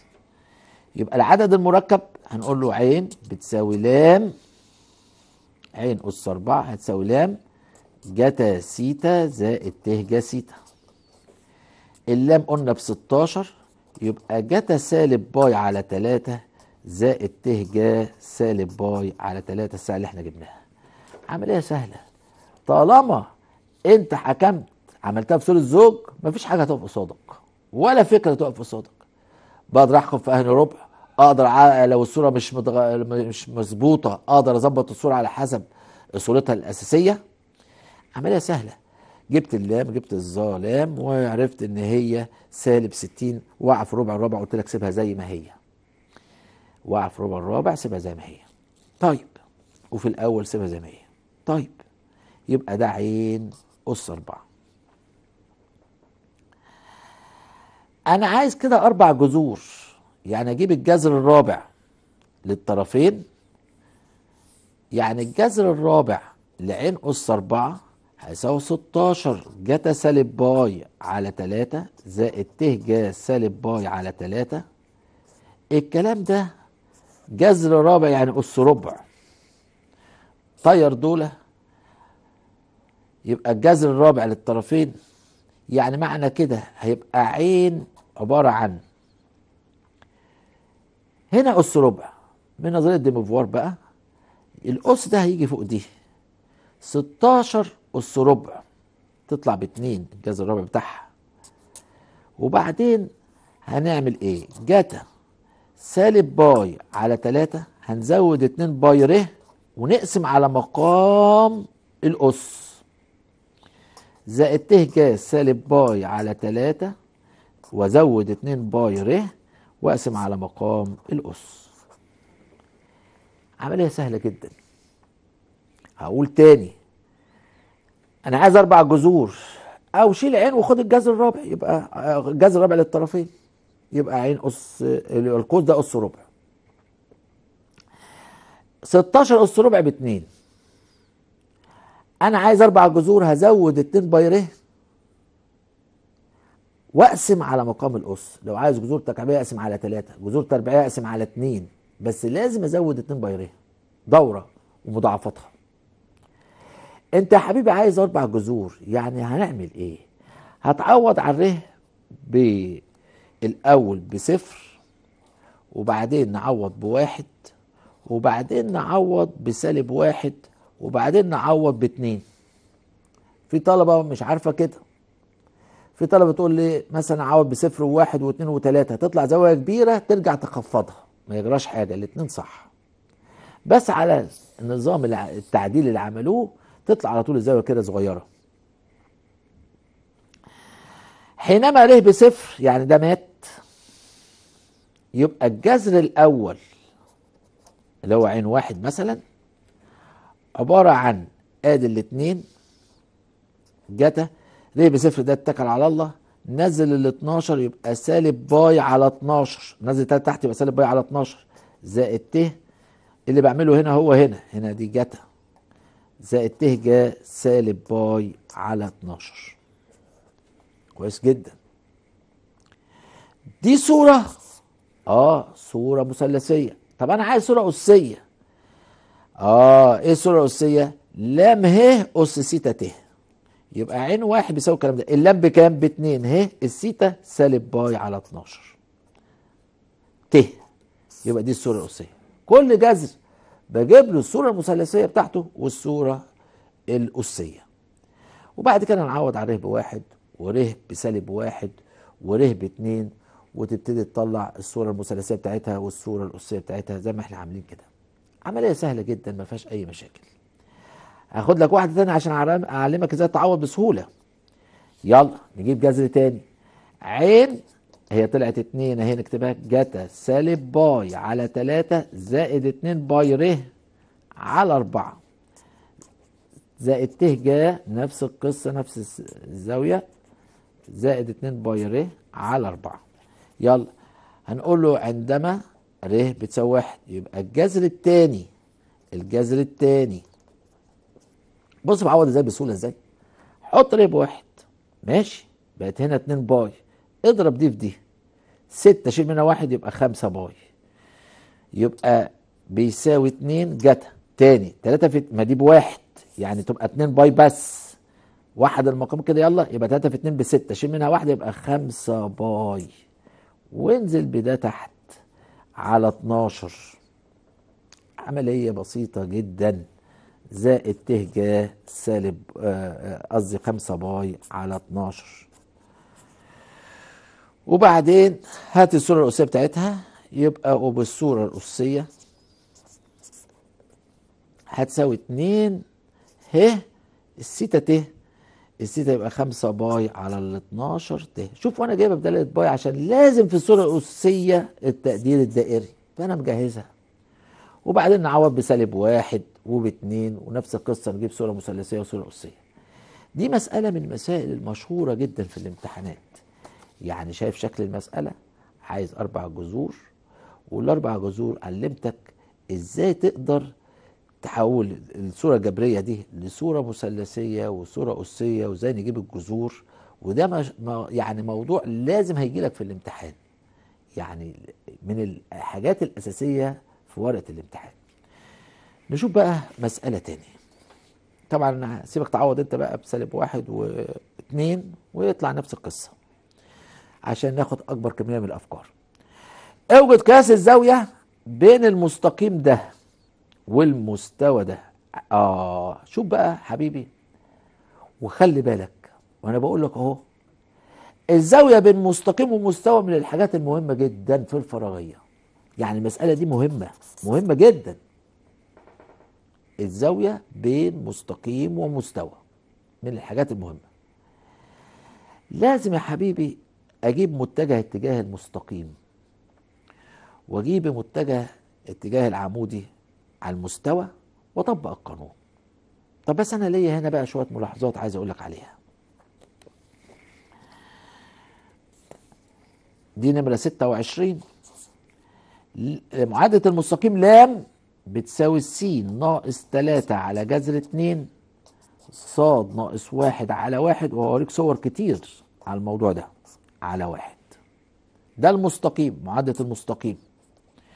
المستوى جذر اتنين س ناقص ص ناقص ع زائد خمسة بتساوي صفر. تمام. لازم أجيب متجه اتجاه المستقيم بيتجاب من تحت من المقامات من المقام. والنقطة أعرف بتجيبها من البسط بتغيير الإشارة. نقول تاني بس لازم الصورة تكون متظبطة عشان تطلع متجه اتجاه المستقيم صح. لازم س دي يا حبيبي تكون زائد عدد أو ناقص عدد. لو معاها أي معامل لازم تتخلص منه. ويبقى س زائد أو ناقص عدد. ماشي. هنا في معامل قبلها يبقى لازم دي نعدل صورتها. هنا س ناقص عدد حلوة. صاد ناقص عدد أو زائد عدد حلوة. هنا سالب لا لازم دي نعدلها. يبقى نعدلها. س ناقص 3 على جذر 2 يلا ودي قلنا حلوة. هنا هناخد السالب عامل مشترك. هتبقى عين زائد 2 عين زائد 2 والسالب ده نزله تحت يبقى سالب واحد. يعني هنا يا حبيبي خدت سالب يبقى عين زائد اتنين. عشان لو فكيت ترجع تاني. والسالب تقوم منزله تحت. بص معايا. س زائد عدد ناقص عدد حلوة. صاد زائد أو ناقص عدد حلوة. عين زائد أو ناقص عدد حلوة. يبقى فوق أقدر أجيب النقطة. ومن تحت أجيب متجه الاتجاه. أنا دلوقتي محتاج متجه الاتجاه. إيه متجه الاتجاه؟ هقول ه بتساوي يبقى جذر اتنين وواحد وسالب واحد. ده متجه اتجاه المستقيم. متجه اتجاه المستقيم. عايز المتجه العمودي آه، المتجه العمودي على المستوى. اهو جذر اتنين وسالب واحد وسالب واحد اللي هو نون.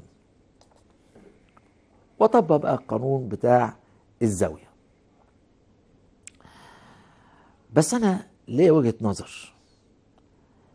لو أنا عايز نقطة مثلا أغير الإشارات اللي فوق يبقى تلاتة النقطة اعكس دي اعكس اشارتها يبقى تلاتة وواحد وسالب اتنين.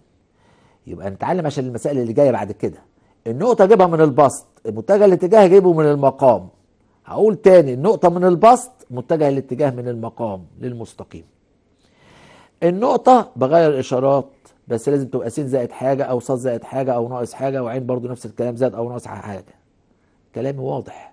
واظبط الصورة عشان تبقى الصورة صح وأقدر أجيب متجه اتجاه المستقيم. وأنا عندي متجه اتجاه المستوى. بس السؤال يا بابا شوف نقرأ تاني. عايز الزاوية بين المستقيم والمستوى. طب الطالب عايز يعني يشوفها إزاي الزاوية دي؟ أنا جبت كده متجه اتجاه المستقيم ومتجه اتجاه المستوى. بس هوريك رسمة تفهمك الدنيا. آدي المستوى. حلو الكلام. الراجل عايز الزاوية بين مستقيم ومستوى. ده المستقيم. على فكرة معلومات رياضية. المستقيم لما يقطع المستوى بيقطعه في نقطة. هقول تاني. مستقيم يقطع مستوى بيقطعه في نقطة. الكلام ده انت درسته في تانية ثانوي. أمال إيه ده؟ آه ده متجه نون المتجه العمودي على المستوى. كويس. أنا عايز الزاوية بين المستقيم والمستوى. هجيب الزاوية سيتا دي. سيتا دي محصورة بين المستقيم ومتجه الاتجاه العمودي. يبقى الزاوية بين المستقيم والمستوى هقول عليها يه مثلا؟ لازم اللي يطلع اطرحه من 90 درجة. أجيب المتمم عشان ده عمودي. على فكرة برضو معلومات في الهندسة الفراغية المستقيم العمودي على مستوى عمودي على أي مستقيم جوه المستوى. هقول تاني المستقيم العمودي على مستوى عمودي على أي مستقيم في المستوى. فيبقى ده عمودي على ده. لو أنا خلقت الزاوية دي لازم أطرحها من 90 عشان تطلع الزاوية بين المستقيم والمستوى. اللي هي إيه؟ أمال إيه سيتا؟ دي الزاوية بين متجه اتجاه المستقيم والمتجه العمودي على المستوى. يبقى إيه هي الزاوية بين المستقيم والمستوى. يبقى أنا دلوقتي لازم أجيب سيتا. فهمت؟ ولما أجيب سيتا أطرحها من 90 تطلع الزاوية إيه؟ اللي هي الزاوية بين مستقيم ومستوى أنا بقول لك عليها مهمة جدا. هنقرأ السؤال في الامتحان. مستقيم ومستوى. بعد ما اطلع الزاوية لازم تطرحها من 90 درجة. طب إيه قانون الزاوية؟ هقول جتا سيتا مقياس. ه متجه اتجاه المستقيم. ضرب قياسي في نون متجه العمودي على المستوى على معيار الأول في معيار الثاني. ده القانون بتاع الزاوية. ما أنت عندك ثلاث قوانين للزوايا. الزاوية بين متجهين المتجه الأول ضرب كسر المتجه الثاني على معيار الأول في المعيار الثاني والزاوية محصورة بين صفر و180 خلي بالك. بين مستقيمين بنعمل مقياس. متجه الاتجاه الأول ضرب كسر المتجه الثاني على معيار الأول في المعيار الثاني والزاوية محصورة بين 0 و90 بين زاوية بين مستويين. برضو مقياس. متجه العمودي بتاع الأول ضرب كسر الثاني على معيار الأول في المعيار الثاني. طب بين مستقيم ومساوي برضو مقياس. خلي بالك عشان بناخد الزاوية الحادة. الموجبة. عشان هي كلها ب 90 يبقى لازم تطلع أقل من 90 بالعقل كده يبقى لازم المقياس. طيب. يعني جاتا سيتا أنا جبت هنا حبيبي متجه الاتجاه وجايبه صح اللي هو جذر اتنين وواحد وسالب واحد. يلا. يبقى جذر اتنين وواحد وسالب واحد. متجه العمودي على المستوى ضرب قياسي جذر اتنين وسالب واحد وسالب واحد. كلام جميل جدا. معيار ده يبقى الجذر التربيع مربع جذر 2 2 زائد 1 زائد 1 وهنا معيار ده 2 زائد 1 زائد 1 طيب لحد كده عملية جميلة. يعني جتا سيتا بتساوي هضرب جذر 2 في جذر 2 ب 2 واحد في سالب واحد بسالب واحد التاني في التاني والتالت في التالت يبقى موجب واحد. يعني هيطلع مقياس اتنين ناقص واحد زائد واحد. دي جذر أربعة وجذر أربعة. جذر أربعة وجذر أربعة يعني بأربعة بالعقل كده. شيل ده مع ده دي تخرج بالموجب يبقى اتنين على أربعة يعني بنص. الله! إيه الزاوية اللي جبت منها نص؟ يبقى سيتا دي تطلع ستين درجة. بس أنا يا بابا مش عايزها. ده أنا عايز الزاوية بين المستقيم والمستوى. أمال الزاوية اللي أنا جبتها دي إيه؟ بين متجه اتجاه المستقيم والمتجه العمودي على المستوى. متممتها متممتها يعني نطرحها من 90 تطلع الزاوية بين المستقيم والمستوى اللي هي إيه؟ يبقى قياس زاوية ي اللي هي الزاوية بين المستقيم والمستوى 90 ناقص 60 هتساوي 30 درجة. طبعا جاية إن المتجه العمودي على المستوى يبقى عمودي على أي مستقيم في المستوى يبقى لازم الزاوية دي كلها ب 90 فالزاوية اللي هتطلع لازم أطرحها من 90 دي من المسائل المهمة جدا اللي تخلي بالك عزيزي الطالب منها. الزاوية بين مستقيم هيقول لك كده في الامتحان اهي اوريك تاني السؤال. قياس الزاوية بين مستقيم ومستوى. لازم أجيب متجه اتجاه المستقيم صح وأجيب المتجه العمودي على المستوى صح وأطبق القانون بتاع جاتا سيتا واللي يطلع اطرحه من 90 عشان تطلع الزاوية بين المستقيم والمستوى. لحد كده العملية سهلة جدا ما فيهاش مشاكل وبنفتكر حاجة حاجة وفي الآخر هلخص لك ده موضوع جبر والفرضية ده كله. عملية سهلة جدا.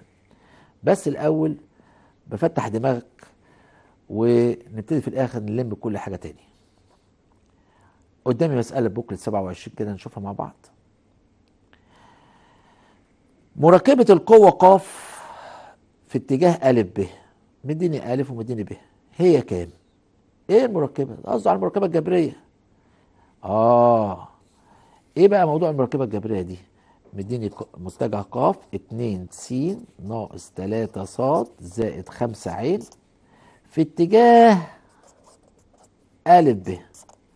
مدي أ بواحد وأربعة وصفر وب سالب واحد واثنين وثلاثة عايز المركبة مركبة القوة دي يعني قصدي على المركبة الجبرية.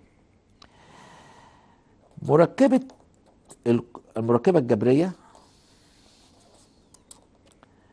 للقوة ق في اتجاه المتجه أ ب عبارة عن ق ضرب قياسي في المتجه على معياره افتكرناها. يبقى المركبة الجبرية؟ ق ضرب قياسي في المتجه على معياره. دي مركبة جبرية. فيها على فكرة مركبة اتجاهية. هي هي في متجه الوحدة اللي هو يعني يبقى ق ضرب كاسف المتجه الف ب على معيار المتجه في المتجه نكررها تاني على معياره. دي اسمها المركبه الجبرية الاتجاهية الاتجاهية. من غير من غير الضرب في متجه الوحده يدينا مركبه جبرية. إحنا عارفين متجه الوحده المتجه على معياره. طيب عشان أجيب الموضوع ده أنا عندي المتجه ق يبقى لازم أجيب المتجه ا ب. حاجة سهلة جدا. المتجه ا ب عبارة عن آدي المتجه ا ب يبقى ب ناقص ا سالب واحد هنطرح ب ناقص ا يبقى سالب واحد ناقص واحد يبقى سالب اتنين. اتنين ناقص أربعة بالراحة بالراحة تخلي بالك يبقى سالب اتنين. تلاتة ناقص صفر تلاتة. عملية سهلة جدا. يبقى المركبة الجبرية يلا عوض بقى. جبرية. هنحط قاف في صورة ثلاثية للزوج يبقى اتنين وسالب تلاتة وخمسة. ضرب قياسي في سالب اتنين وسالب اتنين وتلاتة. على معيار ألف ب المتجه ب يبقى مربع ده المعيار يعني الجذر التربيعي المربع الأول زائد الثاني زائد الثالث المربع الأولاني زائد المربع الثاني زائد المربع الثالث ده في ده يديك سالب أربعة دي في دي يديك ستة زائد خمستاشر على أربعة وأربعة تمانية وتسعة يبقى جذر سبعتاشر. واحد وعشرين من أربعة يديك سبعتاشر على جذر سبعتاشر يعني أكنها جذر سبعتاشر. يبقى الاختيار د آه جيم. الاختيار جيم جذر سبعتاشر. يبقى افتكرنا مع بعض المركبة خلي بالك عشان هعمل لك ملخص جميل في الآخر على كل اللي أنا بقوله.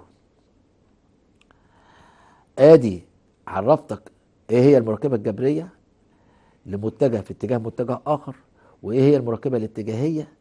وقلنا المتجه مثلا المركبة الجبرية المتجه ق في اتجاه ب يبقى ق ضرب كاسف المتجه ا ب على معياره. لو اتجاهية يبقى ق ضرب كاسف المتجه ا ب على معياره في المتجه على معياره بنضرب في متجه الوحدة نشوف نمرة 28 دي بوكلت كده نصحصح شوية وبعدين نرجع تاني. الحد الأخير من المفكوك ده هو إيه؟ من المفكوك 2 ناقص س لكل أس 5 في 2 زائد س لكل أس 5 هو إيه؟ هل س أس 5 ولا سالب س أس 5 ولا سالب س أس 10 ولا س أس 10 حلوة المسألة دي. بص كده معايا يا حبيبي. عملية بسيطة. الرياضة جميلة بتشغل العقل وزي ما بتحبها زي ما تديها في شغلك في البيت وبتذاكر وبتحل هي هتديك برضو في الدرجات إن شاء الله. 28 رقم 28 2 ناقص س الكل أس 5 و2 زائد س الكل اس 5 عايز الحد الأخير. إيه ده بقى؟ عينيك هي دي الدقة اليقظة والبصة ليك يبقى ليك بصة للمسألة. إيه ده القوس ده اس خمسة؟ والقوس ده اس خمسة. طب أنا ممكن أعمل كده. هاخد القوس الأولاني أضربه في القوس الثاني الكل اس خمسة. واحد يقول لي غلط أقول له لا مش غلط. وزع القص على الأول وزع القص على الثاني خد مسألتك. هي هي. طب إيه اللي خلاني أعمل كده؟ عشان أضرب القوسين دول. ده فرق بين مربعين هيدينا 4 ناقصين تربيع. وأصبح بدل مفكوك ومفكوك مفكوك مضروب في مفكوك أصبح بقى مفكوك واحد بس. بس الراجل بيخاطب طالب يكون فاهم عايز الحد الأخير. يعني إيه الحد الأخير؟ يا بابا لو عرفت القصة من الأول أنت زمان أما تفك القوس تربيع يديك ثلاث حدود. أنا بس عشان الوقت مش عايزين يعني نتوسع في الشرح. لو قص ثلاثة هيديك أربع حدود لو قص خمسة يديك ست حدود. آه يعني عدد الحدود ومن ممارستك طول السنة عبارة عن قص المفكوك زائد واحد. يعني عدد الحدود هنا يبقى كام؟ عدد الحدود ودي تيجي برضو في البوكلت عبارة عن قص المفكوك خمسة زائد واحد يطلع ستة يبقى ست حدود يبقى الحد الأخير الحد السادس. على طول. يعني أقدر أقول الحد الأخير بص هو ح ستة. يلا فكوا بقى. يبقى خمسة. قاف بنقص من ده واحد زي ما علمتك. وقلت لك خلي بالك بتاخد الحد التاني بإشارته. وترجع للحد الأولاني بإشارته برضو قص الفرق. تاني خلي بالك الله يخليك. يعني باخد الحد التاني بإشارته والحد الأولاني بإشارته. ليه؟ لأن أنا بجيب حد مخصوص. أنت عارف لو أنا بفك المفك كله وبينهم سالب يبقى واحد مو... الأولاني موجب التاني سالب موجب سالب بفك جنرال يعني حاجة عامة كله. لكن هنا لا. أنا بجيب حد مخصوص أهتم بإشارات. الحد التاني والحد الأولاني عشان تطلع إشارته مظبوطة ومكانه مظبوط. ودي من النظريات الجميلة علم جميل نظرية ذات الحدين ده. طيب خمسة قاف واحد بكام؟ بواحد. وأربعة أس صفر بواحد. الله يبقى كام بقى؟ تطلع سالب أس فردي شوف إزاي؟ سالب أس بسالب. اتنين في خمسة بعشرة نضرب الأس في الأس. يعني إجابتك تطلع إيه؟ سالب س أس عشرة أهني اختيار يا حبيبي نمرة ج عملية سهلة. عينيا بص تلاقي ده أس خمسة وده أس خمسة. يبقى ضربت القوسين الكل أس خمسة وفكيت القوسين لقيتهم فرق بين المربعين عايز الحد الأخير ده أس كام يا حبيبي؟ خمسة؟ يعني الحد الأخير سادس الستة. لو أس تسعة يبقى الحد الأخير عشرة. لأن عدد الحدود في المفكوك بنزود على أس المفكوك واحد يديك عدد الحدود. نشوف مسألة تاني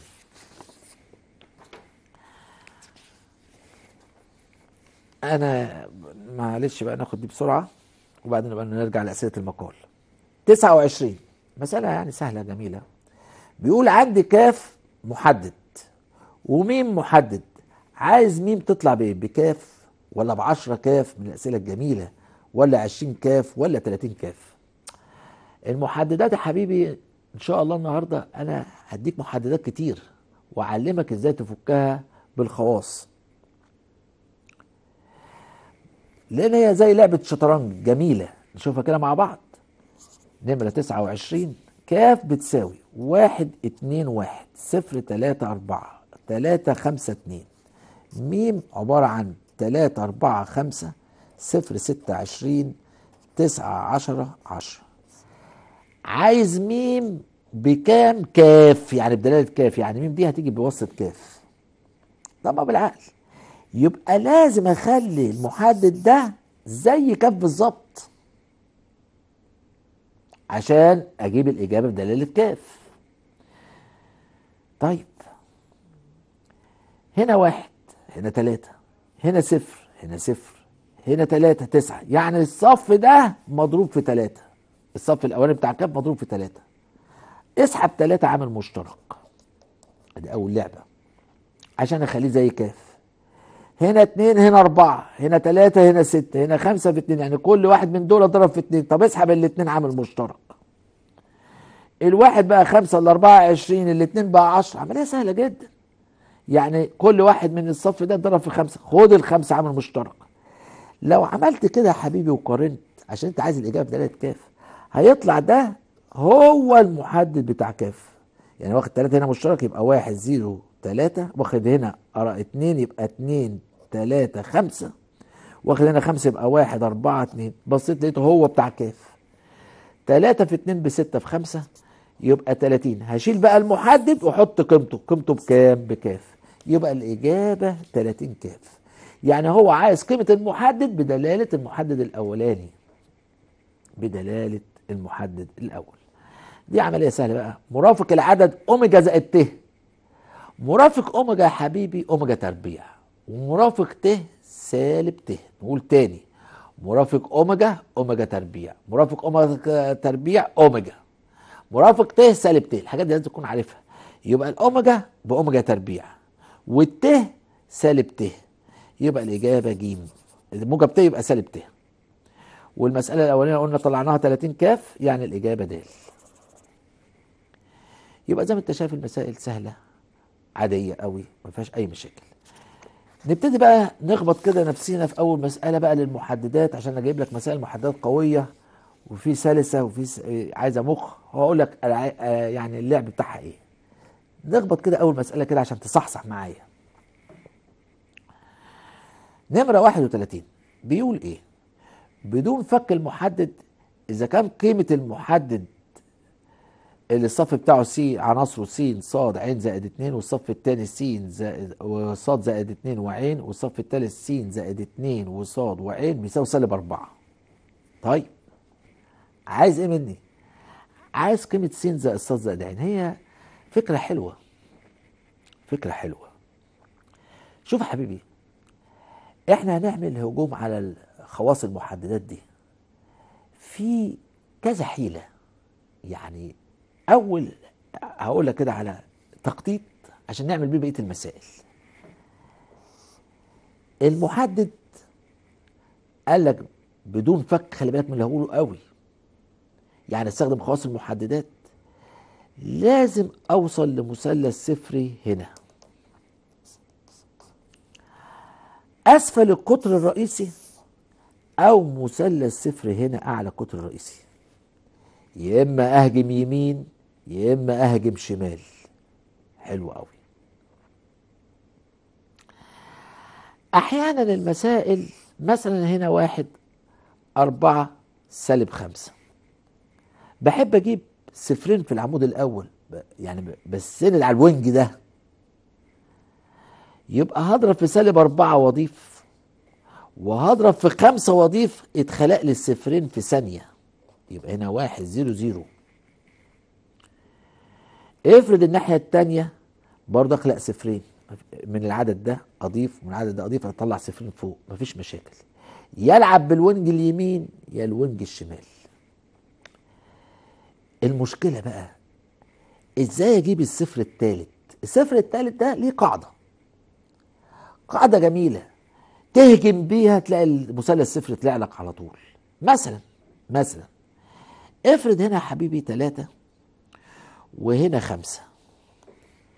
عايز أخلي ده صفر. قال لك إيه؟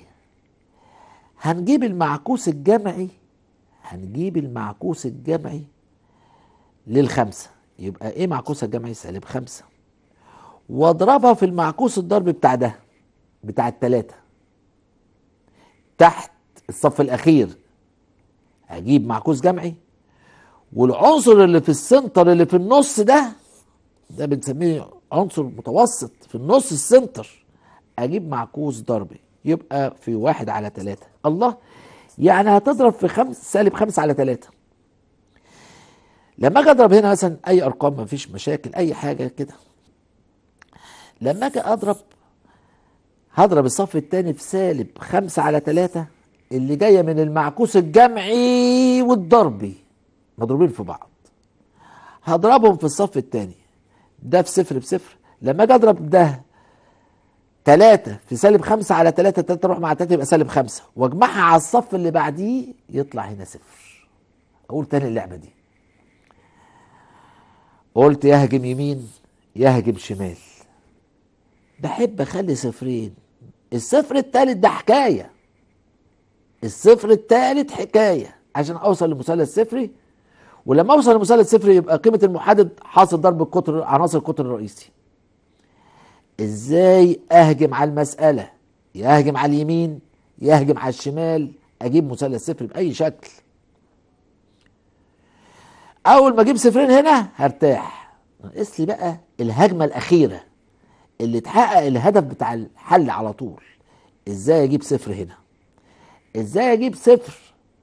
في الصف الثالث تقاطع العمود الثاني عايز بدل الخمسة دي صفر. قال لك دي عايزها صفر هات معكوسها الجمعي واضربها في ال center. ال center اللي هو في النص العنصر اللي في النص. هات معكوس الضربي ثلاثة يبقى معكوس الضرب تلت. يعني اضرب في سالب خمسة معكوس الخمسة معكوسها الجمعي. سالب خمسة في تلت يعني سالب خمسة على ثلاثة أول ما عرفت المعكوس الجمعي وضربته في المعكوس الضربي خلي بالك اضرب الصف الثاني فيه وضيفه على الصف الثالث يخلق لك الصفر هنا وأصبح مثلث صفري. دي حيلة من حيل المحددات والفن بتاعها لأن هي زي الشطرنج وزي ماتش بتلعبه بتهجم كده عايز تجيب جون ألعب على اليمين أو ألعب على الشمال أحقق صفرين و... آه، وبعدين اباصي ده لازم يكون صفر عشان يتخلق. مثلث صفري توصل للحل على طول. أحيانا جايب لك برضو مسائل محدد يجيب شكل محدد تاني. بقعد أفنن بحيث المحدد ده أوصله لنفس الشكل التاني. يبقى أنا علمتك حتة هنا خطيرة جدا إزاي أخلق مثلث صفري أقول تالت مرة خلي بالك من الحتة دي إزاي تخلق مثلث صفري يهجم على اليمين يهجم على الشمال وعلمتك المثلث الصفري العنصر التالت بتاع المثلث يجي عن طريق المعكوس الجمعي للصف الأخير مضروب في المعكوس الضربي للسنتر العنصر اللي هو في السنتر في النص اللي هو 2 2 يعني في العنصر على مكانه 2 2 الصف الثاني تقاطع العمود الثاني وبعد كده يتضرب المعكوس الجمعي في المعكوس الضربي للصف الثاني ويتضاف على الصف الثالث يجي لك الصفر هنا بقى أصبح مثلث صفري تقدر تجيب الحل على طول. دي خيط من الحل. التاني يقول لك اعمل المحدد ده زي المحدد ده وبتحاول تولف. خيط تالت شوف بقى بيبقى في دماغي كل الحاجات دي. أبص على المسألة. أقول لو المسألة رموز كده يا ربي لو جمعتهم جمعت العمود الثالث على الثاني وحطيته في الأول يا ريت يكونوا زي بعض. أو العمود الثالث على الثاني وأضيفه على الأولاني. يعني في مسائل تنفع كده وفي مسائل تنفع كده. ولو طلعوا كلهم زي بعضهم يبقى خير وبركة. يعني شوف بقى المسألة دي. وهنكمل بيت أفكار المحددات. بص كده معايا. نمرة 31 مسألة جميلة جدا. بيقول المحدد س س س زائد 2 زي الشطرنج. لعبة جميلة. وتوسع المخ وتخلي بالك بقى مبقاش في خواص. ليها مشكلة دلوقتي طالما انت فاهم. عايز قيمة س زائد ص زائد ع بيقول لك بدون فك المحدد ده هات قيمة س وص كلمة بدون فك يعني هستخدم له الخواص كلنا عارفين الكلام ده. طيب. لو أنا جمعت كده الصف الثالث على الثاني على الأولاني هيطلعوا مش زي بعضيهم. آه ما أنا بقول لك. طب بلاش الصفوف يا أخي. اجمع العمود الثالث على الثاني وضيفه على الأول. اجمع العمود الثالث على الثاني وضيفه على الأول. بقى س هيجي لها زائد ص زائد ع زائد 2 وتحتيها برضو س زائد ص زائد ع زائد 2 الله ده هيطلع كله زي بعضه يبقى أنا كده الحمد لله. يبقى النظره لما تلاقي رموز كده والدنيا زيطة اعمل عملية التشيك الاختبار ده. يجمع الصف الثالث على الثاني وارميه على الأول.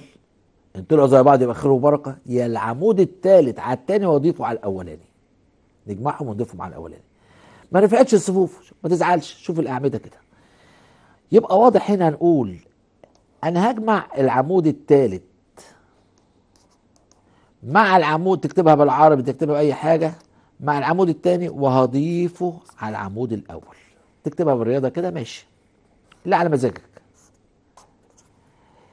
س زائد ص زائد ع زائد 2 هنجمعهم. ده زائد ده زائد ده هجمع الثالث على الثاني واضيف وارميه على الأول. يبقى س زائد ص زائد ع زائد 2 وهيجي لك برضو تحت س زائد ص زائد ع زائد 2 ويجي لك تحت برضو س زائد ص زائد ع زائد 2 انت بتجمع أو بتضرب وبتروح للضيف لواحد. لما بتضرب عمود في اي عدد ما بيتغيرش. ده بيروح يتضاف لعمود تاني مثلا عشان يغير غيره لكن هو ما بيتغيرش. يبقى العمود التاني خلي بالك من الحتة دي هينزل زي ما هو والعمود التالت هينزل زي ما هو. ده هم خدناهم وضفناهم على الأولاني. الله بقى كله زي بعضه. بقت العملية سهلة. خد س زائد ص زائد ع زائد 2 عامل إيه؟ مشترك. الله خلقت الوحايد طالما يا بابا خلقت الوحايد انسى. خلاص بقت الإصفار هتجيلك على طول. يبقى هنا ص ص زائد 2 ص عين زائد 2 عين عين. يلا لعبة الشطرنج هنا. ها هجيب الصفرين هضرب ده في سالب واضيفه هنا وفي سالب واضيفه هنا. جبت صفرين وربنا يسهل. ممكن على فكرة يجي الصفر الثالث أوتوماتيك معاك. ما جاش ما تزعلش. العب بلعبة المعكوس الجمعي في المعكوس الضربي واضرب في الصف الثاني واضيف على الصف الثالث يتخلق لك على طول. طالما أنا ثبت ال wing ال wing اللي هو ده يا يمين يا شمال. طبعا أنا هلعب هنا على ال wing اليمين عشان في وحايد. لو الوحايد على الشمال ألعب على ال wing الشمال. وتخبط الهجمة وخلصت الشغلانه بص كده. يعني س زائد ص زائد ع زائد 2 يلا. ها. هضرب مين؟ هضرب الصف الأول في سالب واحد. واضيفه على التاني والتالت. هيبقى هنا واحد zero zero. يلا. أول بنضرب في سالب واحد. يعني سالب صاد. سالب صاد تروح لها يعني دي قاعدة في مكانها ويجي لها سالب صاد. سالب صاد من صاد راحوا مع بعض يطلع اتنين. يبقى هنا اتنين. طبعا اللي بيتضرب يفضل زي ما هو. الصف الأولاني ده اللي ضربته في سالب واحد ينزل زي ما هو. ده روح بروح. بضربه عشان يغير غيره. بيروح يغير غيره. لكن هو ينزل زي ما هو؟ هقدر اضيف سالب واضيف يلا. يبقى سالب عين آه سالب اتنين وهنا عين يبقى عين من سالب عين راحت يبقى يتبقى سالب اتنين. يبقى هنا سالب اتنين. في سالب صاد وضيف الله ده جه كده خير وبركة الصفر في ثواني. أهو سالب صاد. أنا بضرب في سالب واحد يبقى سالب صاد وصاد جاب لي الصفر. طلع الصفر التالت أوتوماتيك. ياه جميلة. يلا نكمل. هضرب ده في سالب يبقى سالب عين وسالب اتنين وموجب عين. العينات تروح يبقى سالب اتنين. الكلام ده الراجل قايل لك بسالب أربعة. يبقى قيمة المحدد خلاص وصلت بالخواص. ألاعبها جميلة وكلها مخ وكلها ذكاء وعملية سهلة جدا. إزاي انت بتبقاش عارف بس إيه اللي هتعمله؟ مشكلتك مش عارف إيه اللي هتعمله. إزاي تجيب الاصفار دي مشكلتك؟ لكن أنا اديني عرفتها لك. لما جمعت العمود الثالث على الثاني على الاولاني طلع ان العمود الأول كله زي بعضه. طمعت رحت مطلع عامل مشترك بقى ظهر لي وحيد. اول ما تظهر وحيد خلاص قول خلاص المسألة كده خلصت. هضرب في سالب واضيف واضرب في سالب واضيف جبت صفرين على ال wing اليمين. ناقص الصفر الثالث الصفر الثالث ده يجي إزاي؟ جه اوتوماتيك معايا. ما جاش يبقى لعبة المعكوس الجمعي في المعكوس الضربي اضربهم في الصف الثاني واضيف في الصف الثاني الصف الثالث يديك الصفر الثالث على طول. كلام جميل قوي. قيمة المحدد بقى ده مثلث صفر. يبقى واحد في اتنين في سالب اتنين. آه يعني سالب أربعة في القوس ده. بسالب أربعة. الله طير دي مع دي. يعني س زائد ص زائد عين زائد اتنين خلي بالك اما تختصر يبقى فيها الواحد وهتنسى آه طب ودي دي الناحية التانية. ودي دي الناحية التانية. يعني س زائد ص زائد عين تطلع بسالب واحد. واحد ناقص اتنين يدينا سالب واحد.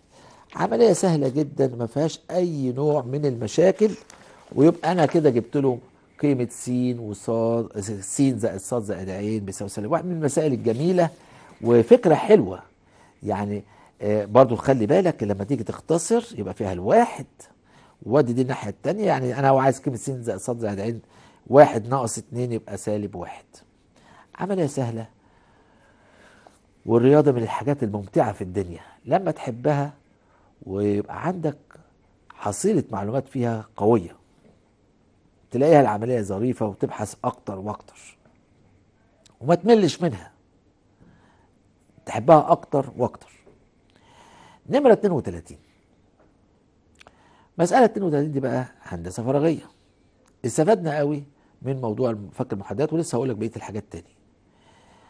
إذا كان المستقيم س تساوي ص تساوي عين يقطع المستوى ده في نقطة ألف. يعني مستقيم بيقطع المستوى. طبعا مستقيم يقطع مستوى قلنا في نقطة. تمام. هات معادلة الكورة اللي ألف القطعة المستقيمة فيها ألف ب قطر فيها حيث ب بأربعة وصفر وسالب ستة. حلوة المسألة دي. س تساوي ص تساوي عين. ده مستقيم. المستقيم ده بيقطع المستوى. طب ما هي س زي ص زي زي عين قول مثلا بتساوي كاف يعني س بكاف ص بكاف كلهم كلهم زي بعض عين بكاف فرضتها هم كلهم بيساووا كاف يعني أي واحدة فيهم بتساوي كاف. الله. مستقيم يقطع المستوى يعني بيحقق معادلة المستوى. بيقطعه يعني بيحققه. آه طب معادلة المستوى إيه؟ س زائد 2 ص زائد 3 عين بيساوي 12 مستقيم بيقطع المستوى يعني بيحقق معادلته بيقطعه في نقطة بيحقق يبقى النقطة دي بتحقق. يعني المستقيم بيحقق معادلة المستوى. شيل س يبقى كاف زائد 2 كاف زائد 3 كاف بدل السين والصاد والعين بيساوي 12 ادي كده خمسة وواحدة يبقى ستة كاف بتساوي 12 شيل شيل يبقى كاف تطلع باتنين. الله أنا عرفت النقطة. يبقى النقطة س زي ص زي عين يبقى النقطة اتنين واتنين واتنين. اللي هي س وصاد وعين. هي دي النقطة اللي قطعت المستوى. المستقيم قطع المستوى في النقطة دي هسميها ألف. حلو جدا. اللي هو ألف نقطة ألف يبقى ألف. الحمد لله طلعنا ألف باتنين واتنين واتنين. حبيبي عايز معادلة الكورة؟ إيه معادلة الكورة دي؟ أنا مش فاهم. إيه هي معادلة الكورة؟ تدور على إيه؟ آه بسيطة. تدور على مركز ونص قطر تطلع معادلة الكورة. شوف انت تبقى فاهم إيه اللي هتعمله. انت عايز معادلة كورة دور لي الأول على مركز ودور لي على نص قطر تطلع لك معادلة الكورة مركز ونص قطر. عايز معادلة مستقيم دور على نقطة ومتجه اتجاه. عايز معادلة مستوى دور على نقطة معلومة ومتجه اتجاه عمودي. عليه. يبقى انت فاهم إيه اللي هتعمله. مش تبص على المسألة وتقول أنا مش عارف أحلها انت مش فاهم إيه اللي, اللي انت عايزه. لك عايز معادلة مستقيم؟ دور على نقطة ومتجه اتجاه ليه. معادلة مستوى دور على نقطة معلومة ومتجه اتجاه عمودي عليه. عايز معادلة كورة دور على مركز ونص قطر الحاجات دي لازم تبقى في دماغنا. عايز خواص محددات دور على مثلث صفري. وعلمتك إزاي تجيبه. إذا أنت ماشي صح عارف إيه اللي هتعمله. أنا جبت ألف طلعت اتنين واتنين واتنين. هات معادلة الكورة اللي اللي فيها ب قطر إيه ده بقى؟ أدي الكورة. وأدي هنا ألف اتنين واتنين واتنين وأدي ب أربعة وصفر وسالب ستة. إن شاء الله في الحلقة بتاعت الساعة 8 بعد ثلاث ساعات هلخص لك الدنيا دي كلها. بس خلي بالك معايا. وهديك أفكار تاني كتير. هنا أدي ألف وأدي ب. ده قطر في الكورة. انت بتقول لي عايز معادله الكورة؟ آه. قلت لي إيه يا أستاذ؟ معادله الكورة؟ يبقى لازم أعرف مركز الكورة وطول نص قطرها بس عرفتهم خلصت. إيه ده؟ المركز ده؟ ما ده منتصف. أجيب إحداث نقطة المنتصف. يعني ميم عبارة عن أجمع الأول مع الأول على الاثنين كلنا عارفينه من أولى ثانوي. 2 زائد 4 على 6 على الاثنين يبقى 3 2 وصفر على الاثنين يبقى واحد. 2 وسالب 6 يبقى سالب 4 على الاثنين يبقى سالب 2 أدي يا سيدي المركز. الحمد لله ده مركز الكورة. نفسي أجيب نص القطر الله أدي نقطة ودي نقطة. بطبق قانون البعد بنقطتين برضه من أولى ثانوي. كلام فارغ كلام سهل. عندك معلومات طالع بيها هتلاقي العملية سهلة. يبقى إمتى تبقى صعبة؟ لما تبقى خلاص المعلومات دي. ادي قانون البعد بالنقطتين النقطة دي قلنا ثلاثة وواحد وسالب اتنين. إيه قانون البعد يا أستاذ؟ فرق الجذر التربيعي فرق السينات التربيعي اتنين ناقص ثلاثة يبقى سالب واحد تربيع. زائد فرق الصادات اتنين ناقص واحد يبقى واحد تربيع. اتنين ناقص ناقص يبقى زائد أربعة تربيع. يعني واحد وواحد وستاشر يطلع جذر 18 إيه بقى معادلة الكورة؟ معادلة الكورة في الصورة القياسية. أنا ومزاجي أعملها صورة قياسية صورة عامة إحداثية مفيش أي مشاكل. بص ببساطة س ناقص المركز الأولاني. تربيع. زائد صاد ناقص أغير ناقص المركز الثاني تربيع. زائد عين.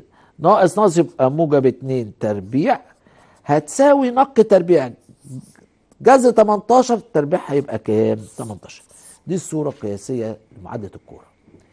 هقولها تاني س ناقص الإحداث الأولاني تربيع زائد ص ناقص الإحداث الثاني بغير الإشارة تربيع. والإحداث الثالث عين ناقص ناقص يبقى موجب اتنين لكل تربيع هتساوي نق تربيع. عايز يا حبيبي صورة إحداثية عامة؟ فكك الأقواس دي تطلع لك الصورة العامة. كلام فارغ سهل جدا. أنت بس مستصعب لأن ما تبقاش عارف إيه اللي هتعمله. يبقى أقول لك تاني آه ما تفهم هتحس إن أنت عملية اللي فهم زيك مش أحسن منك. في طلبة فاهمة إيه اللي هتعمله. أنت ما فهمتش فغصب عنك معلش حاول افهم هتلاقي نفسك زيك زيهم. أنت عايز معادلة كورة دور لي على مركز ونص قطر عايز معادله مستقيم دور لي على نقطة متجهة اتجاه للمستقيم ونور ر بيساوي النقطة زائد كف متجه الاتجاه. عايز معادله مستوى دور لي على متجه اتجاه عمودي عليه.